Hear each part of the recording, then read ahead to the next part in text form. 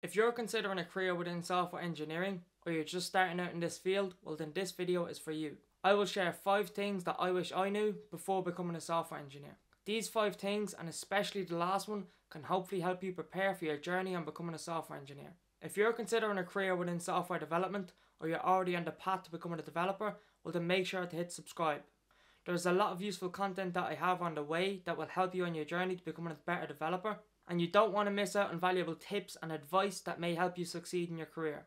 So, with that out of the way, let's dive into these things I wish I knew before becoming a software engineer.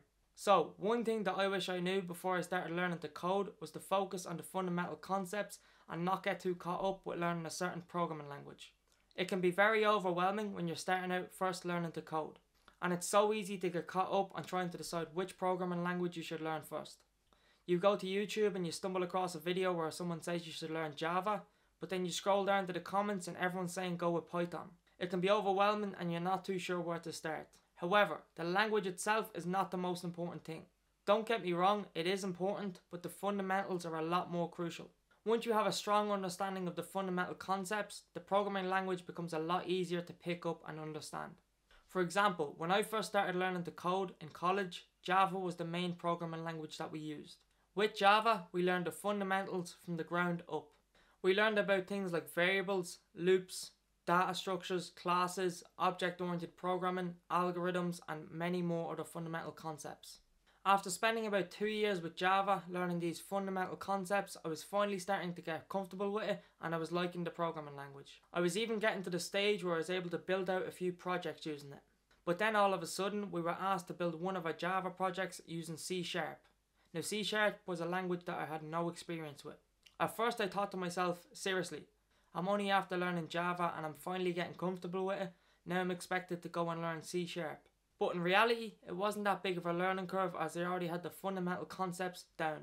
So it was more so of just looking up the syntax in C Sharp and seeing how it was done in that language. A lot of the knowledge and skills that I'd learned previously using Java were transferable across to many other programming languages and having a strong understanding of the fundamental concepts made the process a lot easier. So, with that being said, it would have been useful for me to know early on the importance of learning these concepts. And once you have these fundamental concepts down, the process of learning a whole new language becomes a lot easier.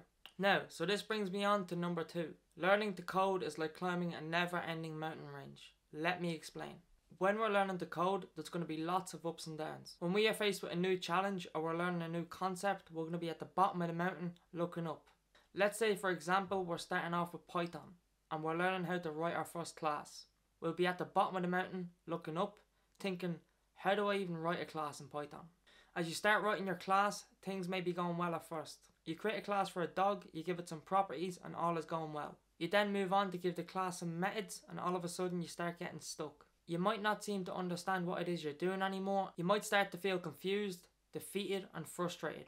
However, you do a bit more digging online and you come across a video that explains what it is you're doing wrong. So finally, with that solution, you implement the rest of your class and it works perfectly. Suddenly you feel a great sense of achievement and you're absolutely buzzing. You've reached the top of the mountain. But then comes your next challenge, the next thing you have to learn, inheritance, and how classes relate to each other. So suddenly you have a new mountain in the distance that you must climb. So my point is that this will continue throughout your career. There are moments where you feel on top of the world and you're so confident that you know it all. But then there are also going to be moments when you feel like you know nothing again. This is all part of the learning and development process and you should learn to enjoy it.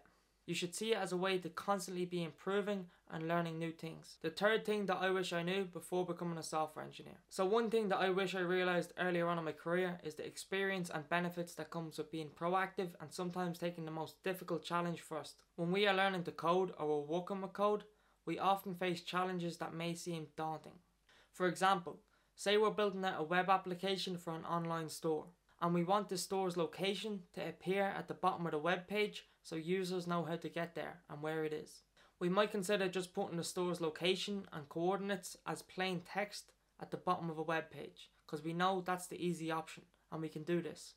However, we might have seen a previous online store that had a Google Map component at the bottom of their web page. And with this component, users have the ability to interact and find the store's location in a real GPS way. However, we've never worked with a Google Map component before and this challenge seems quite hard and we're not too sure if we can do it. However, I strongly believe that we should often opt for the most difficult challenges over the easier ones. This is mainly because the most difficult challenges help us stretch our abilities and learn the most. And even if we don't succeed, we can learn from our mistakes and grow from them. And in fact, I often find that my mistakes is where I learn the most. A difficult challenge where the implementation fails can often teach us more than a basic one that succeeds. This process of learning and achieving can also have a positive impact on our self esteem and our confidence. Then, when opportunities present themselves further on down the line, we will feel more confident to take them on because we have learned to embrace difficult challenges and learn from our mistakes. So, yeah, one thing that I wish I knew earlier on was to go for the difficult challenge more so than the easier one. So this brings me on to the fourth thing that I wish I knew. The need to always be learning and stay up to date with new technologies and tools. One thing to keep in mind when you're starting out in this field, and this is something that I didn't know when I started out, is that there is no end all be all. There is no point where you know information and you can just retain that information and you will be fine for the rest of your career. The field of software engineering is constantly changing all the time, with new tools, technologies, and programming languages always coming out. It is essential to always be learning and stay up to date with these new tools and technologies. This is to ensure you are better equipped to tackle new challenges and opportunities that may arise. In this field, you'll need to learn how to learn essentially, as you're going to be learning new things all the time. And you need to be willing to try new things and step away from what you know and what you're comfortable with in order to learn new trends and best practices. It's important to remember that there is no cruise control within software engineering, and you need to be proactive in your learning and development in order to succeed and become a more versatile and valuable developer. For some people, and including myself, when I first found out that I was always going to have to learn and stay up to date with new things, it was quite daunting and intimidating. However, after having now experienced this process firsthand, I've come to see this as a huge positive. It keeps things fresh and exciting, and there is always room for growth and improvement. The constant need to learn is essential for a successful career in software engineering and I have found it to be both a rewarding and enjoyable process. And it's definitely one thing I wish I knew before I started out. Now, so the last and in my opinion the most important thing that I wish I knew before becoming a software engineer the importance of developing good coding practices. As a software engineer, when I started working on a team writing code that would eventually reach production, the importance of this skill became very clear to me. No longer was I only writing code for projects that I worked on and only I would see, but now I was working within a team and other people were relying on my code and not just me. It was easy to see the importance of having good standards in place to make my code more readable, maintainable, and adaptable to change if things were to change further on down the line.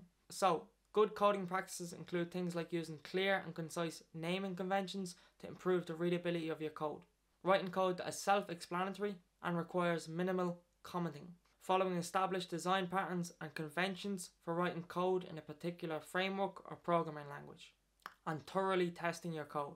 By developing good coding practices and writing clean code, we can improve the efficiency and reliability of our projects, as well as make them easier to maintain and update in the future. So, in short, developing good coding practices is essential for any software engineer, as it helps to ensure that our code is of a high quality and is maintainable for the long run. It was only when I started looking into this a bit more, doing some research online and reading some programming books, that I realised all the things that I was doing wrong and that I could change to improve my code. Overall, I wish I'd known the importance of developing good coding practices earlier on in my career, as it would have saved me a lot of time and effort in the long run. So, with all that being said, I hope these five things can help provide some context as to what you can expect on your journey to becoming a software engineer. However, it is impossible to know everything before you start your journey, and you're going to make some mistakes.